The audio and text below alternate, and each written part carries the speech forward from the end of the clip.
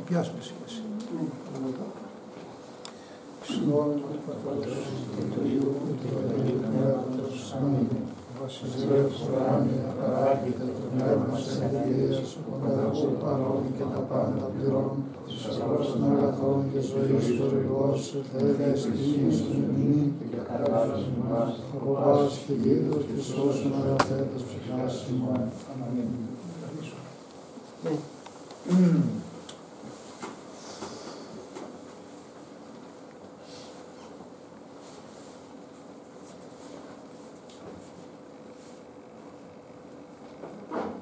Είμαστε σαν πιστοί χριστιανοί και βαπτισμένοι στο όνομα της Αγίας Τριάδος μέλη της Εκκλησίας του Θεού. Βεβαίως, εφόσον φέρουμε σώμα της ορατής και εφόσον έχουμε και ψυχή αθάνατη, κατά μέρος της αόρατης Εκκλησίας που βασιλεύει στον ουρανό. Μιλάμε λοιπόν για την Εκκλησία του Ιησού Χριστού. Της Εκκλησίας αυτής η ιδρυτής είναι ο Κύριος Ιησούς Χριστός. Είναι ο ιδρυτής ο Κύριος. Είναι αυτός που με τη σταυρική του ουσία ποτίζει συνεχώς τα μέλη της Εκκλησίας του Χριστού με το αίμα του.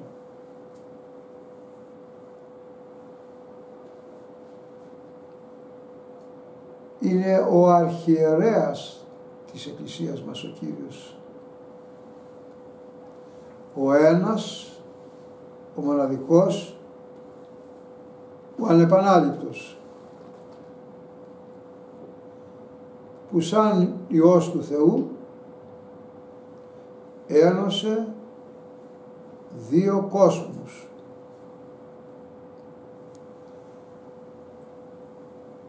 Τον ουράνιο κόσμο που έχει άρχοντα την Αγία Τριάδα και τον Πατέρα και τον κόσμο των επιγής. Είναι ο ενώσας, ο Κύριος είναι εκείνος που ένωσε τα πριν διεστώτα, αυτά που ήταν χωρισμένα, που είχαν διάσταση. Είχαμε πάρει σαν άνθρωποι διαζύγιο από το Θεό αυτό το διοζύγιο ο Κύριος το φωνάζει στο Ιεραγή Γραφή εμείς εκ, εκ πορνείας εγεννήθητε. Την πορνεία που ονομάζει μέσα σε γραφή στους Εβραίους εννοεί το διαζύγιο που είχαν πάρει από το Θεό. Και Μιχή και Μιχαλίδες που τους ονομάζει γενικά το ίδιο εννοεί το διαζύγιο που είχαν πάρει από το Θεό.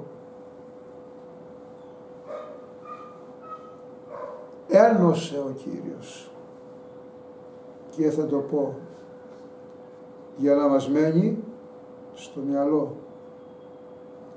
Με κεφαλαία γράμματα όσο απέχει ο ουρανός από τη γη τόσο μεγάλα τα κεφαλαία γράμματα. Είναι ο Μέγας Αρχιερεύς. Ο Μέγας Αρχιερεύς δεν υπάρχει άλλος που να είναι όμοιος του. Ως άνθρωπος μιλώ, ε. δεν μιλάμε για την Αγία μιλάμε για τον ένα αρχιερέα. Κοιτάξτε να δείτε κάτι. ίσως περνάει από το μυαλό μας, από το μυαλό μας, του καθενός μας. Γιατί; Ο Θεός όρισε τους ιερείς και τους αρχιερείς. Ανέφερα λίγο προηγουμένως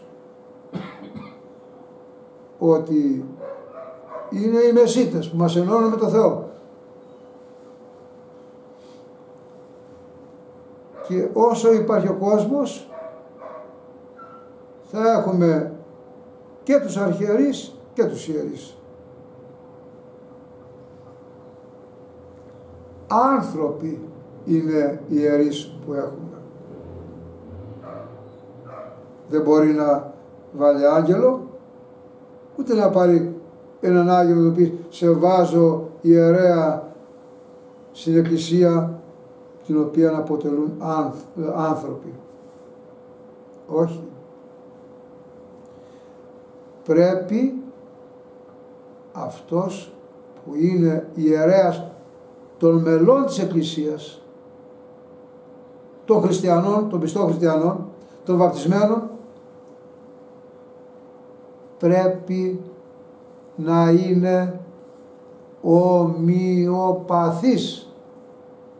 να έχει όπως και εμείς οι άνθρωποι τις αδυναμίες που έχουμε και εμείς.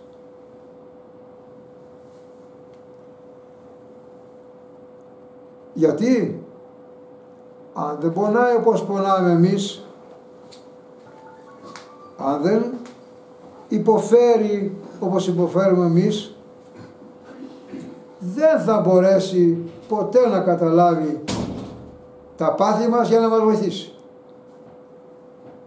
Δεν μπορέσει να καταλάβεις ποτέ το πάθος που έχει ένας άνθρωπος, τις αδυναμίες του. Πρέπει πονάμε εμείς, να πονάει και αυτός. Γλιστράμε εμείς, να γλιστράει και αυτός. Γιατί αν δεν πονάει ο ιερέας ή ο αρχιερέας και αν δεν γλιστράει και αν δεν έχει αδυναμίες όπως έχουμε εμείς, δεν θα μας καταλάβει ποτέ.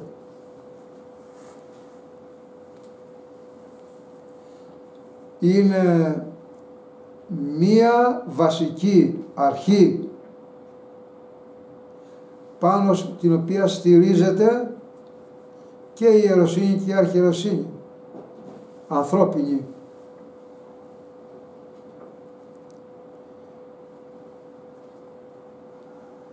έπρεπε αυτός που κατέβηκε από τον ουρανό ο Κύριος που γεννήθηκε από την Παναγία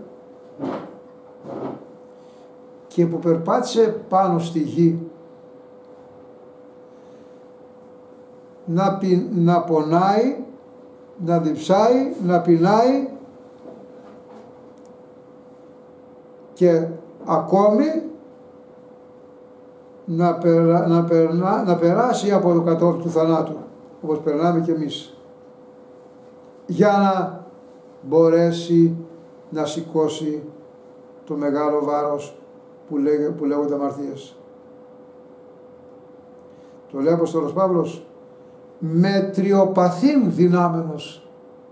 Το μετριοπαθήν δυνάμενος σημαίνει να ζει τη μετριοπάθεια, δηλαδή τις αδυναμίες που έχουμε εμείς χωρίς να έχει αμαρτία. Να το απουσιάζει από πάνω η αμαρτία. Και έτσι και είναι. Ο Απόστολος Παύλος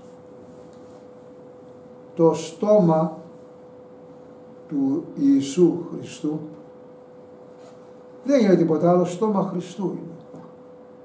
Όταν κάθε φορά που ανοίγω τη γραφή να διαβάσω, ειλικρινά σας μιλάω, μου περνάει αυτομάτως από το μυαλό πώς ένας άσπονδος εχθρός της Εκκλησίας, άσπονδος, άσπονδος σημαίνει να μη σηκώνει κουβέντα για τον Ιουδαϊσμό. Να του μιλάς, αν του πας να του μιλήσεις μία λέξη εναντίον του, του Ιουδαϊσμού, του Εβραϊσμού το πω αλλιώς, σε, σε καθάριζε. Σε έβγαζε από τη μέση, σε πήγαινε στο εκτελεστικό απόσπασμα. Αν τολμούσες να μιλήσεις εις βάρος του Ιουδαϊσμού, ο Απόστολος Παύλος.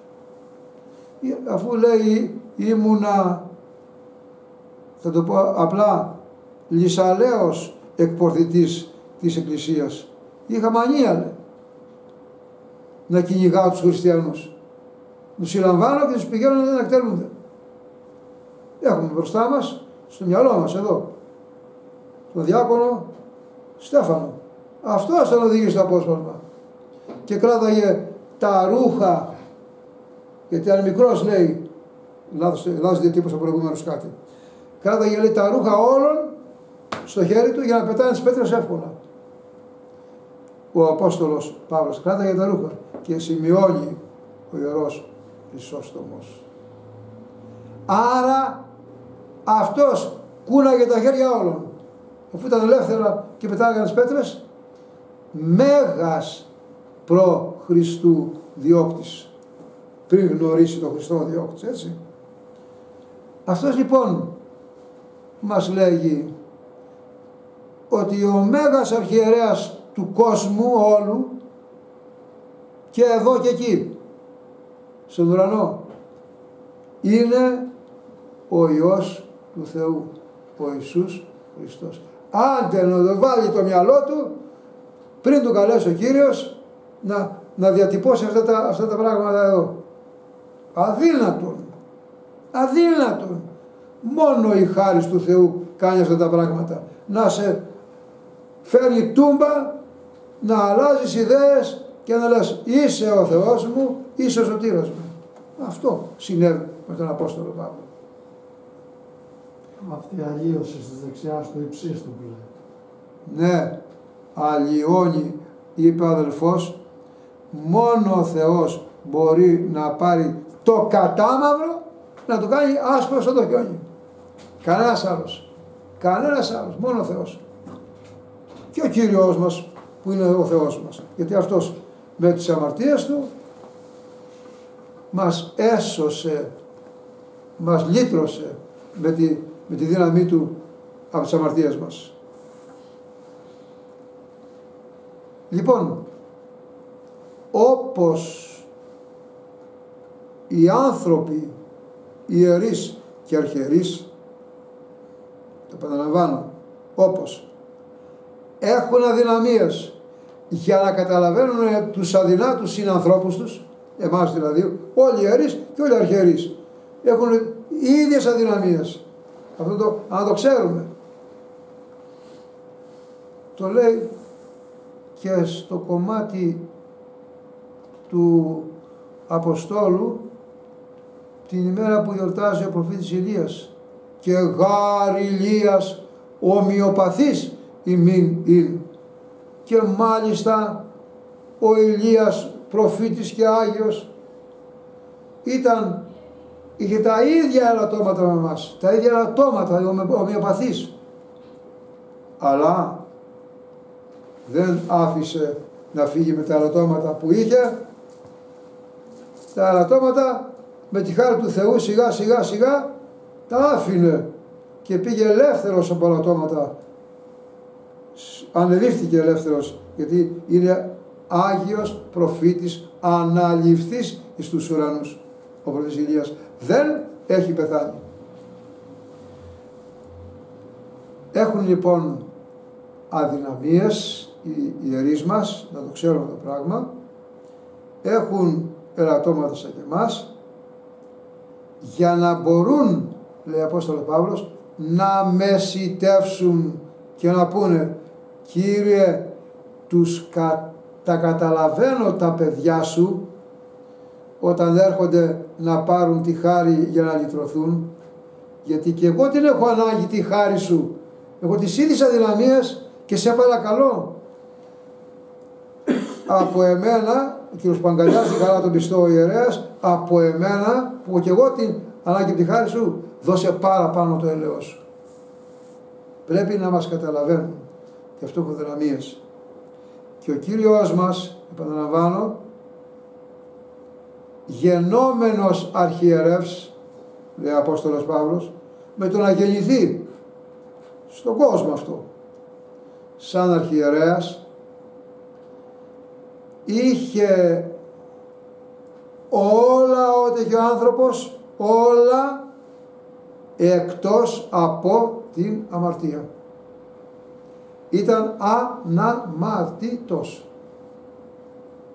Όλα τα άλλα τα είχε.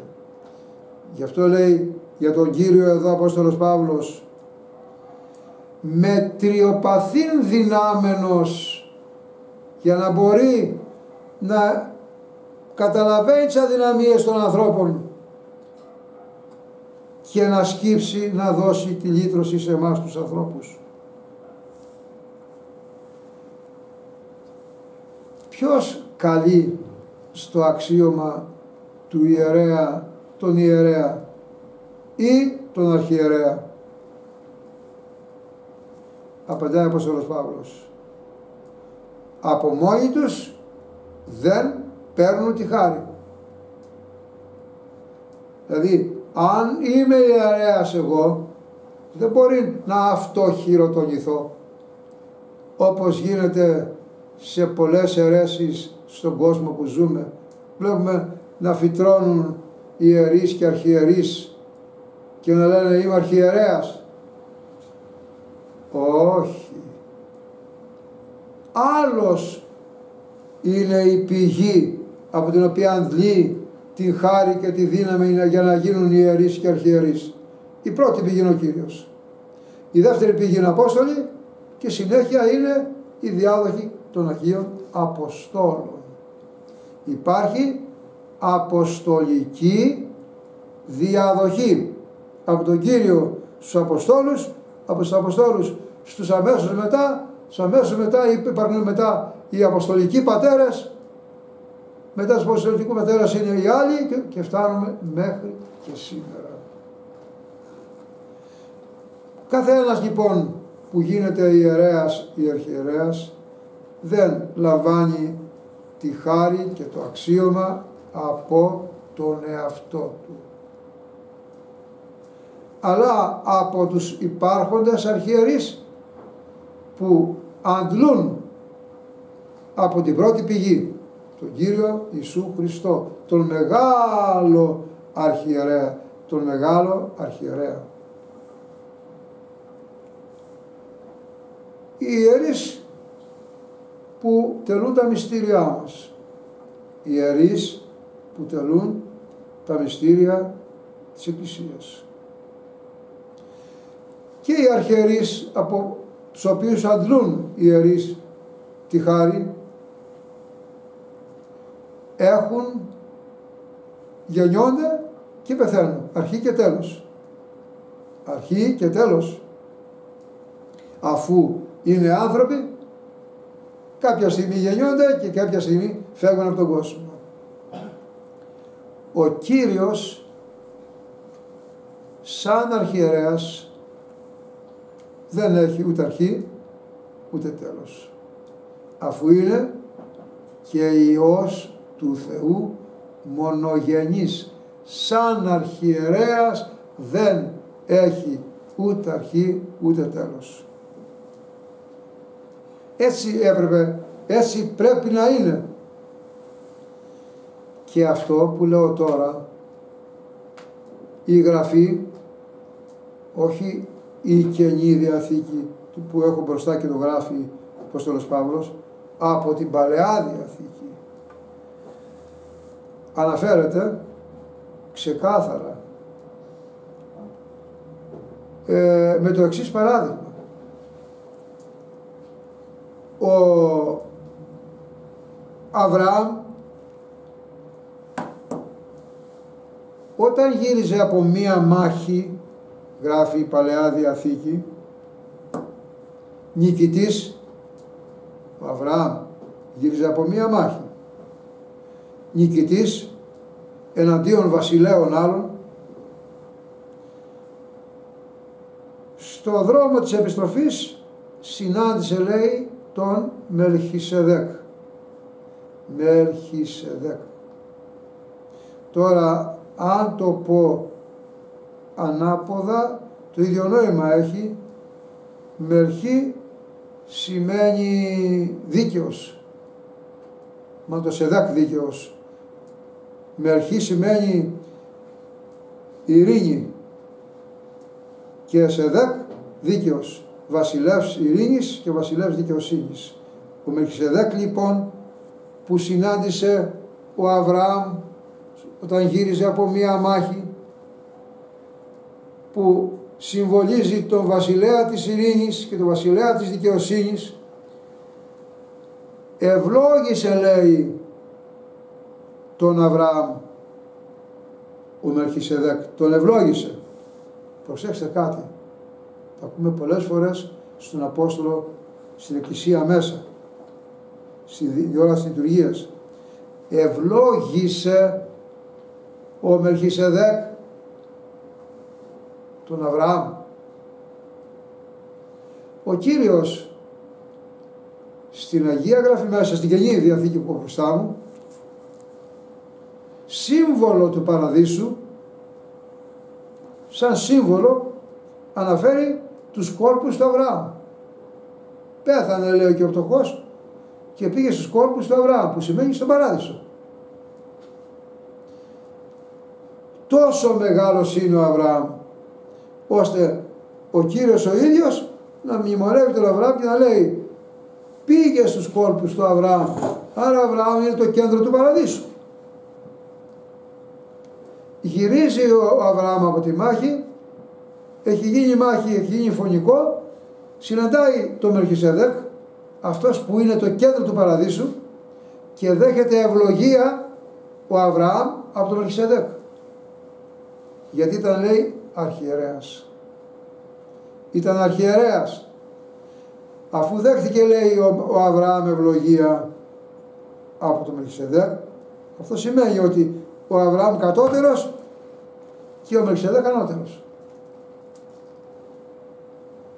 Στην Αγία Γραφή μέσα γράφεται ότι δεν αναφέρεται δεν αναφέρονται γονείς ούτε γέννηση ούτε οι γονείς του ούτε η γέννησή του αλλά ούτε και ο, ούτε και ο θάνατός του του Μερχισεδέκ ούτε αρχή αναφέρεται η, η, η ημερομηνία γεννήσεως ούτε και η ημερομηνία λήξεως ζωής για, για να προτυπώσει, για να συμβολήσει με αυτόν τον τρόπο το πρόσωπο του μεγάλου αρχιερέα του Κυρίου Ιησού Χριστού που είναι άναρχος, αγέννητος και αθάνατος. Ο Μεχισεδέκ είναι το σύμβολο του αρχιερέα Ιησού Χριστού. Αφού ευλόγησε τον Αβραάμ Συνεπώς είναι κατώτερος ο Αβραάμ. Επομένως ανώτερος ο Μελχισεδέκ. Στην Εκκλησία λοιπόν διαβάζουμε στο ψαλτήρι πρώτα το εξής. Διαβάζουμε στο ψαλτήρι πρώτα το εξής. Ότι λέει ο Δαβίδ Συ Κύριε Συ Κύριε, μιλάει στο, στον Κύριο Ιησού Χριστό, ο Δαβίδ, 1080 χρόνια πριν πρωτού γεννηθεί ο Χριστός, Συ Κύριε, του το λέει με το όνομα, είσαι ιερεύς. Κατά την τάξη, σε δέκα. Αρχίζει η αρχαιροσύνη σου σαν άνθρωπος από την τάξη, σε δέκα. Είσαι αγέννητος Κύριε εσύ, αγέννητος και αυτός, συμβολικά. Αθάνατος εσύ Κύριε, αθάνατος και αυτός, συμβολικά επαναλαμβάνω. Μόνο ο Κύριος δεν είναι σαν Θεός, ούτε γεννήθηκε, ούτε, ούτε, ούτε πεθαίνει σαν Θεός. Λέει, Κύριε, εσύ είσαι ιερεύς στον αιώνα ή στον αιώνα, λέει, κάθε Είσαι ιερεύς στον αιώνα παντοτινός χωρίς ημερομηνία ενάξεως και χωρίς ημερομηνία λήξεως. Ο Κύριος την έχει αρχαιροσύνης αρχαιρέας αιώνια με κεφαλαία γράμματα. Από εκεί και μόνο από εκεί, από την πρώτη πηγή του φωτός, τον Υιό του Θεού, την Αγία Τριάδα, αντλούν οι αρχιερείς και οι ιερείς την αρχιεροσύνη τους. Άρα αφού είναι εστιασμένη η κατεύθυνση στην πρώτη πηγή, στον Κύριο η αρχαιροσύνη και η ρωσίνη, ό,τι προέρχεται από εκεί, η Εκκλησία μας δηλαδή, από εκεί έρχεται και χάρις, από εκεί αγιαζόμαστε. Οτιδήποτε άλλο εκτός από αυτό και εκτός του χώρου της Εκκλησίας δεν υπάρχει σωτηρία. Εκτός του χώρου της Εκκλησίας δεν υπάρχει σωτηρία. Ακούμε τους ερωτικούς. Εμείς ανήκουμε στην Αποστολική Εκκλησία που δεν έχει αρχαιροσύνη όμως που δεν έχει πραγματική ερωσύνη. Έξτρα έλεγε ο Άγιος Αμβρόσιος που πήγε όχι τούτος εδώ ένας αρχαίος Άγιος Εκκλησίαμος το πρώτο Αποστολικό χρόνο έλεγε έξτρα έξω το έξτρα σημαίνει έξω εγκλέσιαν από την Εκκλησία non salus est δεν υπάρχει σωτηρία υπάρχει Σταύρος έξω από την Εκκλησία δεν υπάρχει σωτηρία τελείωσε εδώ, γιατί; Γιατί αυτοί οι ιερείς και αρχιερείς είναι τεταλμένοι να μας οδηγήσουν στην ουράνια βασιλεία. Το φωνάζει ο Απόστολος Παύλος. Πείθεστε και υπήκετε να δείχνετε υπακοή και να είστε και εμπιστοσύνη το πείθεστε δείχνετε εμπιστοσύνη και υπήκετε υπακοή τη ηγουμένη ημών σε εκείνη που είναι οι πρώτοι άρχοντες μέσα στην Εκκλησία μετά τον Κύριο και είναι οι αρχιερείς και ιερείς. Πώς λοιπόν εγώ θα βγω από την Εκκλησία έξω και δεν θα πηγαίνω στην Εκκλησία να αγιάζομαι και θα έχω χάρη για να σωθώ, να πορευθώ το δρόμο προς τον ουρανό. Χωρίς τον Ανανία, ο Απόστολος Παύλος δεν θα είχε σωτηρία. Του το επέδειξε ο Κύριος στη Δαμασκό που πήγε να συλλάβει τους χριστιανούς. Του λέει θα πας στον Ανανία, θα σου μάθει ο Ανανίας που είναι της Εκκλησίας άρχοντας τι θα πιστέψεις και πώς θα σωθείς. Τι να κάνω Κύριε για να σωθώ του λέει. Δεν του είπε Α ναι θα σου πω τώρα εγώ. Όχι. Χρειάστηκε ο μετριοπαθήν δυνάμενος εκείνος που είχε τις ίδιες αδυναμίες με εμάς να τον καθοδηγήσει πώς θα σωθεί. Σε όλο το Άγιο Όρος, σε όλο το Άγιο Όρος, αλλά και σε όλη τη χριστιανοσύνη υπάρχει ο κανόνας.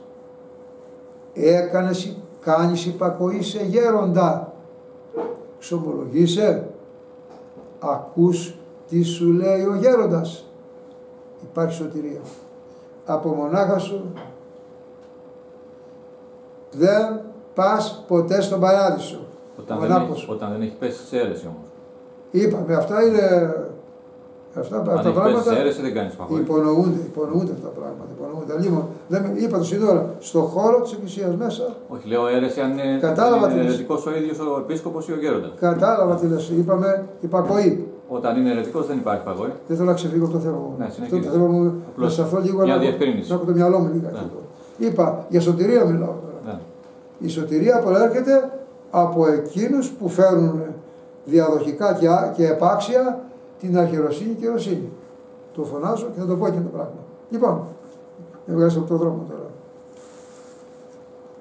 Ο Απόστολος Παύλος μας προβάλλει το πρότυπο για εκείνο που λέει ο Βασιλάκης τώρα.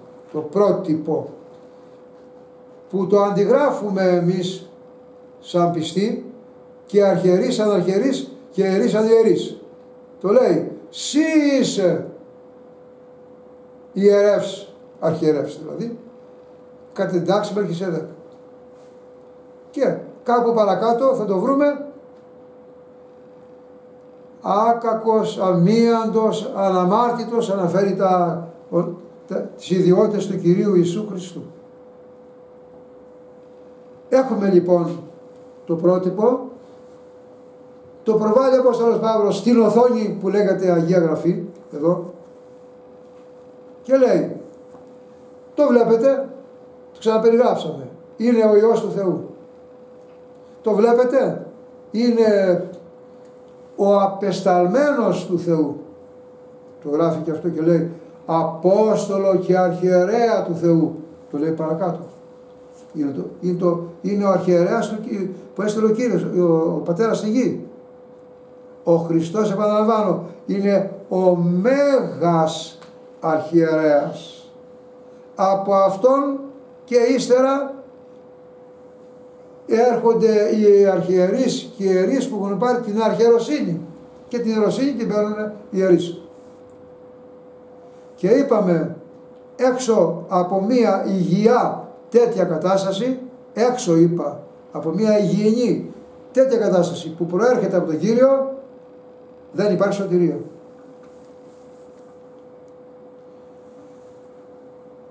Ε, ο Απόστολος Παύλος στο πέμπτο κεφάλαιο προς Εβραίους λέει ότι ο Κύριος την πήρε από τον πατέρα του την αρχιεροσύνη. Ο Ααρών στην Παλαιά Διαθήκη ε, πήρε και εκείνος αρχιεροσύνη για να σώσει την Παλαιά Διαθήκη τους. Ε, όχι να σώσει, απλώς να βοηθάει. Γιατί άφηση αμαρτιών δεν έπαιρναν τότε καμία άφεση αμαρτιών. Δεν υπήρχε συγγνώμη στις αμαρτίες τότε. Γιατί ο Κύριος ήρθε για να σώσει και αυτούς στην Παλαιά Διαθήκη και εμάς στην Καινή Διαθήκη. Λοιπόν, ε, και ήρθε λοιπόν ο Κύριος και τι έκανε στη γη. Διαβάζω το κομματάκι που μου δημιουργεί και μου εμπνέει συγκίνηση και όραξη για προσευχή αυτό που θα ακούσουμε το γράφει ο Απόστολος Παύλος για τον Κύριο που κατέβηκε σαν άνθρωπος και σαν αρχιερέας στη γη αυτή. Ο Κύριος εν ημέρες της αρκός αυτού. Κα, ε, κατά τις ημέρες ή θα το, η ημέρα σημαίνει τα έτη της ζωής του τα 33 χρόνια δηλαδή, ε, δεήσεις και οικετηρίες προσέφερε δεήσεις δεήσεις είναι δεν είναι μία απλή προσευχή είναι παράκληση και η κετηρία είναι ανώτερες παρακλήσεις πάρα πάνω από παράκληση λέμε σε έναν κάνεις αυτό. Σαν λέμε, σε παρακαλώ, κάνε αυτό. Και σαν λέμε, σε χίλιο παρακαλώ, κάνε αυτό. Το πρώτο είναι δέη, το πρώτο είναι απλή ευχή. Το δεύτερο είναι δέηση, σε παρακαλώ. Και το σε χίλιο παρακαλώ είναι η κετηρία. Τα τρία αυτά τα πρόσφερε στην προσευχή του ο Κύριος που προς τον δυνάμενον σώζει σε εκείνο τον πατέρα που έχουμε όλοι μας σε εκείνο τον πατέρα που μπορεί το δυνάμενο να μας σώζει από το κακό, από την αμαρτία να μας οδηγεί στον παράδεισο. Επαναλαμβάνω ο Κύριος ως αρχιερέας κατά τις ημέρες της επίγειας ζωής του, της αρκός αυτού, της επίγειας ζωής του, προσέφερε δεήσεις και εκετηρίας, παρακλήσεις και πάρα πολλές, πάρα πολύ μεγάλες παρακλήσεις στον πατέρα του που μπορεί να σώζει εις το διηνεκές δηλαδή αιωνίως. Μπορεί να σώζει αιωνίως. Έκανε ο Κύριος προσευχές θα πούμε. Άλλωστε μετά από κάθε θαύμα γράφει ο Ευαγγελιστέ πήγαν να το βρουν το, το, το, το ενέβησαν στην έρημο λέει για να κάνει προσευχή σαν άνθρωπος να μιλήσει στον πατέρα του να σώσει τον κόσμο ξέρετε και τι σας το λέω ξέρετε η προσευχή είναι υποδεδειγμένη από τον ίδιο τον Υιό του Θεού. Θα μου πει ο Σταύρος, μα δεν θυμάσαι. 40 μέρες πήγε στην έρημο για να βγει μετά στον κόσμο να κηρύξει δημόσια το έργο του στη γη επάνω. 40 μέρες νηστείας και προσευχής. Και πειραστής από τον διάβολο. Πειράκτηκε στην έρημο σαν άνθρωπος και εκείνος όπως πειραζόμαστε κι εμείς. Ε, έκαμε λοιπόν προσευχή, υπόδειγμα προσευχής, με κεφαλαία γράμματα είναι ο Κύριος. Προς το δυνάμενο σώζει εκ θανάτου. Για προσέξτε τι γράφει παρακάτω. Για προσέξτε. Προσευχήθηκε λέει. Μετακραυγής ισχυράς. Προσέξτε το αυτό. Ε, αυτή, αυτή είναι το μέρη τη γράφει ο Απόστολος Παύλος που δεν ήταν μαζί του μα που πήρε όμως από τον Κύριο την Αποκάλυψη προσευχήθηκε λέει ο Κύριος μετακραυγής δυνατής ισχυράς πολύ δυνατής δεν πιάνεται απλώς το λέω αλλά δεν πιάνεται με το μυαλό αυτό το κραυγή ισχυράς. Μπορούμε να πιάσουμε εμείς το παλμό της καρδιάς του κυρίου προσευχομού στη Γερσημανή ή οπουδήποτε αλλού. Πήγε στο Λάζαρο να τον αναστήσει από τον τάφο. Δεν έκλαψε εκεί πέρα. Δεν προσευχήθηκε προηγουμένως. Με τα κραυγή ισχυράς. Και τι άλλο, και δακρύων. Και κραυγή και δάκρυ. Δύο συνοδοιπόροι της προσευχής του Κυρίου μας Ιησού Χριστού. Στην προσευχή ο Κύριος είχε και κραυγή ισχυρά και δάκρυ. Αυτά τα, τα λέμε για να, για να ξέρουμε τι πρέπει να κάνουμε στη ζωή μας. Και δάκρυ. Και λέει παρακάτω και εισακουστής φοβερό πράγμα. Στον πατέρα του λέει τα έκανε εκείνα και εισακούστηκε λέει επαναλαμβάνω, η ανθρώπινη πλευρά του Κυρίου, τις αδυναμίες της άρκας, το κλάμα και η ισχυρά φωνή και οτιδήποτε άλλο έκανε σαν άνθρωπος στον πατέρα του. Και ο πατέρας λέει, τον άκουσε από, λέει παρακάτω, εισακουστής από της ευλαβίας. Το από την ευλάβεια λέει, από την αγάπη που είχε στον πατέρα του μεταφράζω καταλάβετε. Αν αγαπάς κάτι, το καμαρώνεις, το χαίρεσαι, το προσέχεις, ε, το κρατάς μακριά από οτιδήποτε να το, μπορεί να το βλάψει κλπ. Λέει, αυτός ο ιερέας είναι ευλαβής. Τελεί τη λειτουργία σαν να μην είναι, σαν να μην είναι μέσα στην εκκλησία, σαν να προσεύχεται στον ουρανό επάνω. Αυτό είναι ευλάβεια. Γιατί είναι αφοσιωμένος στη Θεία Λειτουργία. Ο δε χριστιανός ευσεβής γιατί σέβεται αυτό που βρίσκει μέσα στον χώρο της Εκκλησίας. Τα ιερά και τα όσια του. Και ο Κύριος λοιπόν λέει έβγαλε κραυγή δυνατή στον πατέρα του. Έχεις σε δάκρυ σαν άνθρωπος στον πατέρα του. Και τον άκουσε ο πατέρας. Δύο στοιχεία απαραίτητα. Γράφει ο Άγιος Παΐσιος. Μου έρχεται στο μυαλό τι να κάνουμε αν πονάς και προσεύχεσαι για το συνάνθρωπό σου θα σε ακούσει αμέσως ο Θεός. Αν δεν πονάς, μην αφήσεις την προσευχή μέχρι να πονέσεις, έστω και λίγο, για να πάρει το μήνυμα ο Θεός. Ξάπλα, εκτός αν είσαι ασθενής. Και αν είσαι ασθενής πάλι πονάς και μιλάς και σε ακούει ο Θεός. Ε, μόνο, τα μόνα χαρακτηριστικά που είναι ε, ιδιότητες α, απαραίτητες, αρετές απαραίτητες.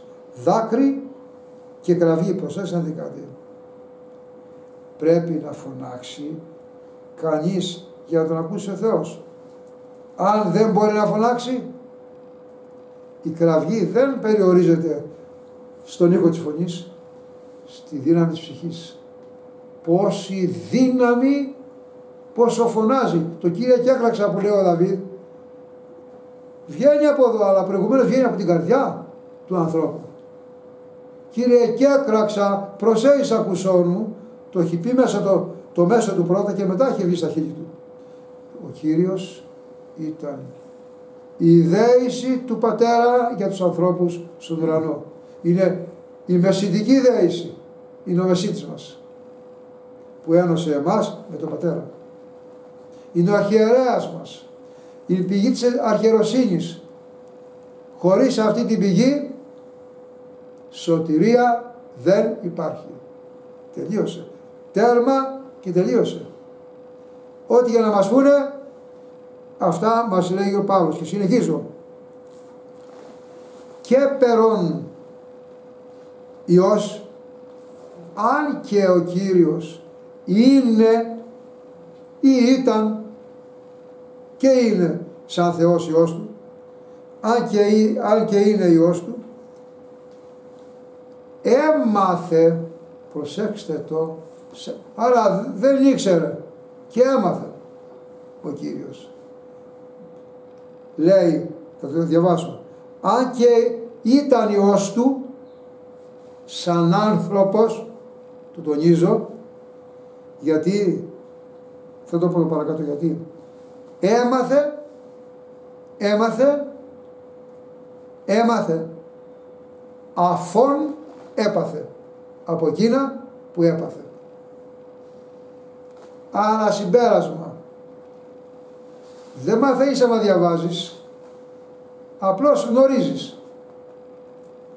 Όταν διαβάζεις Αγία Γραφή, γνωρίζεις με το μυαλό εκείνα που διαβάζεις. Σου λέει για την προσευχή του Παύλου, σου λέει για την προσευχή των Αγίων, Καπαλού και του καθεξής, αλλά πρέπει να πάσχεις τα θεία για να μάθεις, όχι να γνωρίσεις πρέπει να πάσχεις τα θεία για να μάθεις. Για να, για να μάθεις. Είναι αυτό που λέει αλλιώς ο λαός. Ο παθόν είναι γιατρός. Ο παθόν είναι για μαθόν. Τελείωσε. Άμα ακούμε άνθρωπο, αυτή είναι του Αγίας Γραφής η θέση. Και ο Κύριος λέει, σαν άνθρωπος έμαθε το φωνάζω για να μας μείνει στο μυαλό, έμαθε από εκείνα που έπαθε, που υπέφερε σαν άνθρωπος. Δεν πάσχεις, δεν πονάς, δεν κοπιάζεις για εκείνο που πας να μάθεις, είσαι πέρα για πέρα έξω. Διανοητικά δεν μαθαίνετε τίποτα. Γι' αυτό ξεκινάμε από το, την ανάγνωση, αλλά πάμε στην πράξη μετά δεν χωρίζει το ένα μετάλλο από την ανάγνωση, από τη θεωρία, μα στην πράξη. Πεςτε μου σε ένα επάγγελμα που δεν πάει από τη θεωρία στην πράξη. Ένας για να γίνει καλός στα θα μας πει και ο ένας κι άλλος εδώ μπροστά και οι δυο τους θα μας πούνε: Εγώ όταν πήγα να μάθω, χτύπησα πολλές φορές το κεφάλι μου. Έφαγα και ένα ξύλο, τότε δίνανε και ξύλο την παλιά εποχή. Έτσι. Και έτσι μάθανε. Γράφει ένα ωραίο ο Άγιος Παΐσιος. Λέει, είχα πάει που ήμουν μικρός για να μάθω, λέει, μαραγκός, όχι το επώνυμό σου, πρόσεξε τώρα. λοιπόν, για να μάθω, λέει, μαραγκός, το γράφει στο βιογραφία μέσα. Ήταν και ένας άλλος μαζί με μένα, που ήταν και λίγο αδιάφορος, γράφει μέσα. Του λέγα, κάνε βρε, του λέει, δεν μαθαίνεις άμα δεν, άμα δεν κουραστείς. Και όταν λέει έφυγε το ερευνητικό, του κάνω τη δουλειά εγώ. Μα έτσι λέει, άμα δεν χτυπήσει το κεφάλι σου, πώς θα μάθεις την τέχνη. Σκεφτείτε τώρα, σκεφτείτε τώρα, να λέει ο Απόστολος Παύλος, ο Χριστός, το δεύτερο πρόσωπο της Αγίας Τριάδος, έγινε άνθρωπος, είχε κάποιες άγνοιες, περίπου έστω στο μυαλό άγνοιες, σαν άνθρωπος, που έπρεπε να περπατήσει πάνω, να πονέσει, ήρθε για να σταυρωθεί. Άμα δεν σταυρωνόταν να πονούσε, δεν θα κατανοούσε τι είναι ο πόνος που περνάμε εμείς οι άνθρωποι. Να καταλαβαίνουμε, να καταλαβαίνουμε τι λέμε. Δεν θα κατανοήσει τον πόνο μας. Δεν θα μπορούσε να αφαιράσει τον πόνο από πάνω μας. Σε καμιά περίπτωση. Μόνο ο πόνος τον έμαθε να μας ελευθερώνει από τα κακά που περνάμε εμείς. Α, πας λοιπόν και εσύ ο ΑΒ σε έναν άνθρωπο για να τον βοηθήσεις. Αν το έχεις περάσει το γεγονός θα του πεις εγώ έτσι το... Στην ίδια περίπτωση ήμουνα, ίδια περίπτωση έζησα και αυτό έκανα και το πέρασα αυτό, αυτό, αυτό, αυτό το βάσανο που πέρασα. Αλλιώς δεν μπορούσα να το περάσω. Μπορείς να το αλλού του πεις κάντο έτσι. Όταν του μιλάς και δεν το έχει περάσει, σου μιλάει και δεν έχει περάσει, εσύ που το έχεις περάσει λες ε, το εδώ πέρα είναι πολύ μακριά ακόμα. Θα το πει, δεν το πει, έτσι είναι. Γι' αυτό σε όλα τα θέματα να μην έχουμε εύκολα τη γνώμη να φωτίσουμε τον άλλον. Αν έχουμε περπατήσει επάνω, αν έχουμε ζήσει πάνω στο γεγονός, αν έχουμε και λίγο πονέσει, να μιλήσουμε. Να μιλήσουμε, ναι. Λοιπόν, και ο Υιός του Θεού, το τονίζω, και ο Υιός του Θεού, έμαθε, το αναφέρω όπως το λέει ο Παύλος, αφών έπαθε, έμαθε, αφών έπαθε. Και συνεχίζει την υπακοή. Σε ποιον δεν Σταύρο την υπακοή; Πατέρα. Στον πατέρα του. Του, του είπε κατέβα κάτω να σταυρωθείς, να σώσεις τον κόσμο. Αν δεν πέραγε το κανάλι της σταύρωσης, δεν θα ήξερε τι είναι υπακοή στον πατέρα του. Με κανέναν τρόπο. Χωρίς υπακοή, χωρίς πάθος πάνω στην υπακοή, χωρίς να πάσχει στα θεία, δεν μαθαίνεις τίποτα. Μην ανοίγεις το να μιλάς, δεν χρειάζεται να πεις κουβέντα. Είσαι αμαθής, αμαθέστατος. Είναι και αγένεια μπροστά σε μια πραγματικότητα που είναι η αλήθεια. Και συνεχίζει.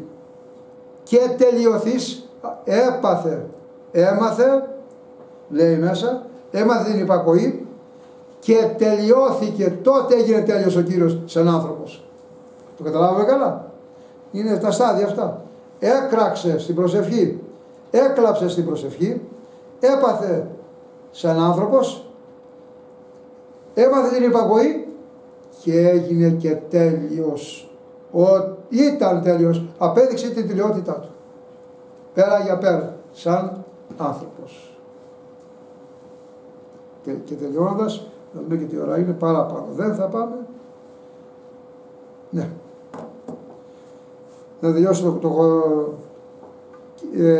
ε, το λέει και τελειώθηκε. Έγινε τέλειος. Εγένετο της υπακούης είναι αυτό πάση αίτιος σωτηρίας. Και έτσι έγινε. Είπαμε έμαθε την υπακοή αφού έπαθε απέδειξε ότι είναι ο τέλειος άνθρωπος και με αυτόν τον τρόπο έμαθε και σε εμάς την υπακοή. Αλλιώς δεν θα μπορούσε να μας μάθει την υπακοή. Κάνεις υπακοή, έχεις σωτηρία. Πάσχεις για την υπακοή, έχεις σωτηρία. Μπορείς και να μάθεις και τον άλλον την υπακοή. Σε όλα τα πράγματα είπα έτσι γίνεται. Και συνεχίζει παρακάτω και λέει προσαγω... έτσι προσαγορεύτηκε. Από τον πατέρα του ονομάστηκε. Ονομάστηκε ο Κύριος. Από τον πατέρα του. Αρχιερεύς. Μόνο έτσι πέρασε το κανάλι του πάθους της υπακοής και τον ονόμασε πατέρα του, ο πατέρας του αρχιερέα κατά την τάξη Μερχισεδέκ. Αυτός είναι ο Κύριος μας. Και εμείς είμαστε παιδιά Του, αδέλφια Του, συγκληρονόμοι της δικής Του βασιλείας. Εκεί ψηλά στην Άνω Εκκλησία που χωροστατεί ο Κύριος σαν αρχιερέας και έχει συλλειτουργούς τάγματα αγγέλων και αρχαγγέλων όπως λέει ο προφήτης Αΐας ε, προς τα εκεί πορευόμαστε βηματάκι βηματάκι για να φτάσουμε στην ημέρα εκείνη τη μεγάλη που λέει ο Άγιος Παΐσιος που δεν δει ο ήλιος της γιατί ο ήλιος της είναι ο Κύριος ημών Ιησούς Χριστός. Εύχομαι εκεί να φτάσουμε. Αμήν. Τελείωσα. Αν θέλετε να πείτε κάτι, καλώς. Διαφορετικά, να λύσουμε τη σύναξή μας και να πάμε στην ευχή του Θεού. Άγιος ο Θεός, Άγιος ο Ισχυρός, Άγιος ο Θάνατος, ελέησον μας. Άγιος ο Θεός, Άγιος ο Ισχυρός, Άγιος ο Θάνατος, ελέησον Άγιος ο Θεός, Άγιος ο Ισχυρός, Άγιος ο Θάνατος, ελέησον εμάς. Πάτερ ημών, Ιησούς Χριστός, και ασύγχον εμάς, εφέρεσαι στις γέρες σου και τελείχα των αδράσεων, όσων ημών των άρθρων ημών των επιλούσεων, δώσει εμείς σήμερα και άρθρος ημών τα οφειλήματα ημών, ως και εμείς αφήραμε τις οφειλάτες ημών, και εμείς συνέγγιση ημάς της περασμών, αρρύσου ημάς από του προμηρού. Διευχών των Αγίων Πατέρων ημών, Κύριε Ιησού Χριστέ ο Θεός, ελέησον και σώσον ημάς. Σας ευχαριστώ πολύ. Γεια σας. Εγώ είμαι το άθρο. Εκεί που το βρήκατε αυτό το